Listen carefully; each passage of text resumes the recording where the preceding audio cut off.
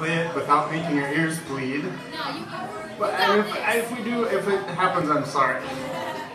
Uh, this first one is called Harmonic Fantasy. Harmonic being the uh, phenomenon I'm taking advantage of. And fantasy because it's a fantasy for me to play it all the way through without any mistakes.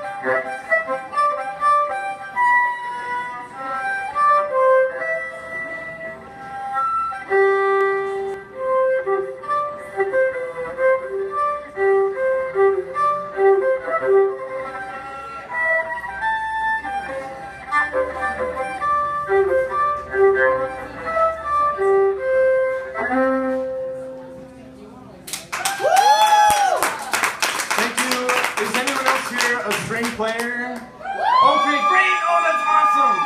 So then you guys know how hard that was.